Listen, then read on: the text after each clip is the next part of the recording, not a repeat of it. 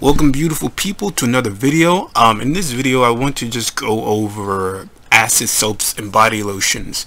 There was a video I made some time ago about the UK TMAU food, loose, uh, food list that was provided by the University of College London Hospitals and it gives you a guideline of what you could eat if you possibly have TMAU. There's a green list, uh, amber list I believe and then a red list of things you should avoid, things you should eat cautiously and things you should eat and but with also within this document or this PDF there's other things that they were uh, explaining you should try to try to reduce the amount of trimethylamine or TMA within within your body.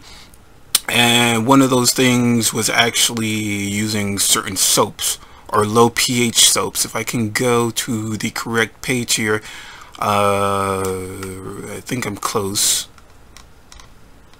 nope nope. It was page 6 um it was page 6 okay so it says here although TMAU is not related to personal hygiene it might be useful to use soaps with a moderate pH of 5.5 to 6.5 as TMA is an alkaline compound pH 9.8 using a lower pH body wash or moisturizer can make the TMA less volatile and easier to remove through washing.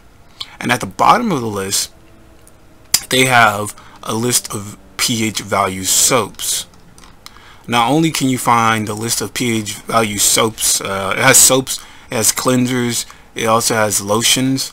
You can also find this on the MEBO blog, and it says list of pH, list of the pH of common cleansers for suggested trimethylamine management, and they also have a laundry list of different products from cleansers to most of them are actually cleansers to soaps, soap bars, and things of that nature.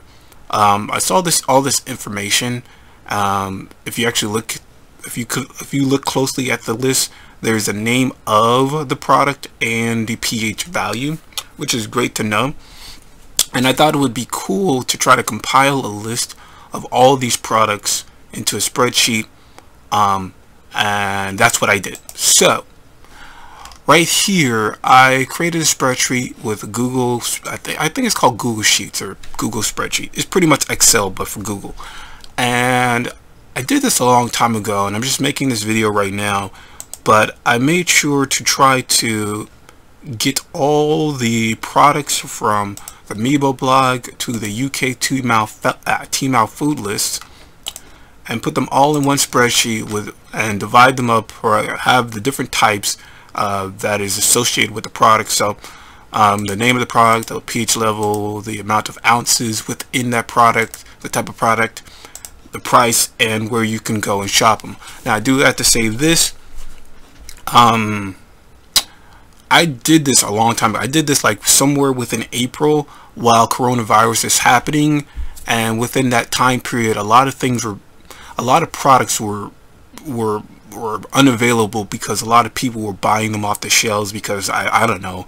People were just buying stuff impulsively because they felt like this is going to be the last time they're ever going to get this product. So I wasn't able to get all the products um find all the products that were like on Amazon. I would have to go to random or other sources uh, other places to find products uh, that have this in addition to that I do want to say this too um, there were also a lot of products within the MEBO page where they spoke vaguely about just the product in itself.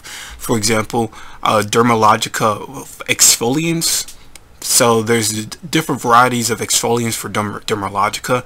I just picked the first one that I saw um, on the page and then and then put the price and put the pH level and stuff like that. So that's another thing I had to warn. I think there's something else uh, I really wanted to say.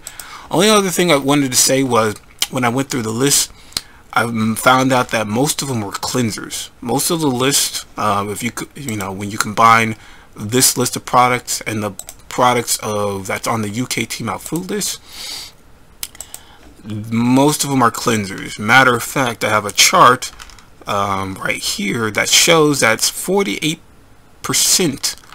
of the products within this within this um, low pH product list um, are actually cleansers. And I think the second one is the second most Uh, the second biggest is soap bars, which is 18.5. Another thing is I also have a list or I mean a graph that shows the varying price levels it has.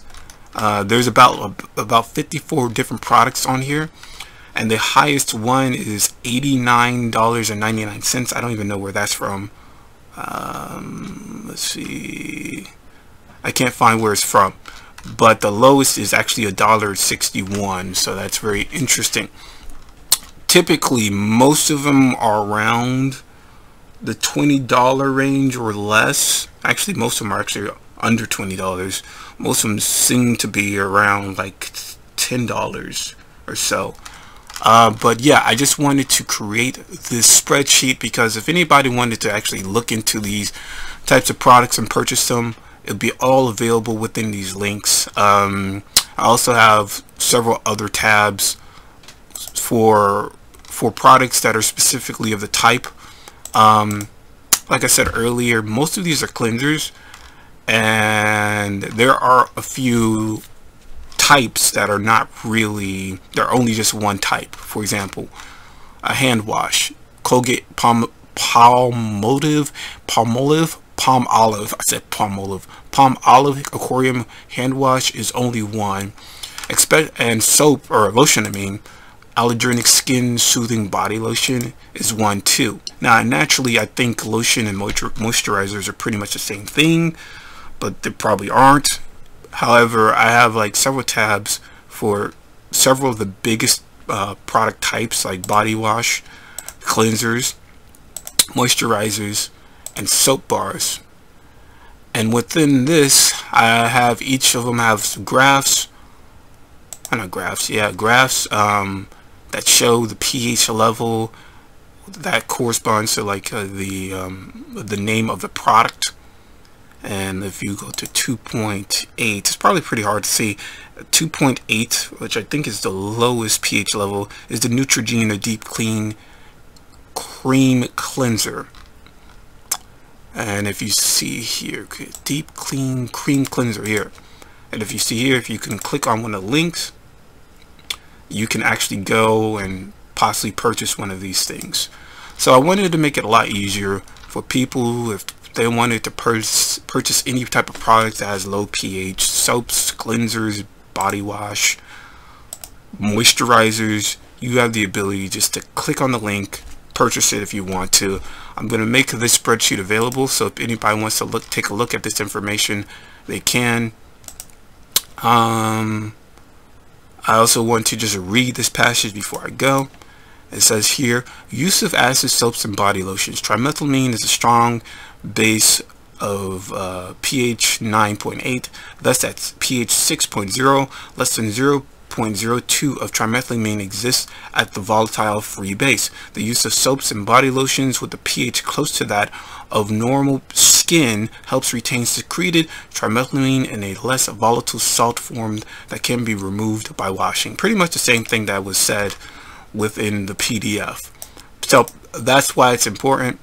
Um, probably going to do other things, but yeah, that's all I wanted to do. I appreciate people for watching. I'm going to put this down in links so people can take a look at it if you're interested. Uh, other than that, have a good day.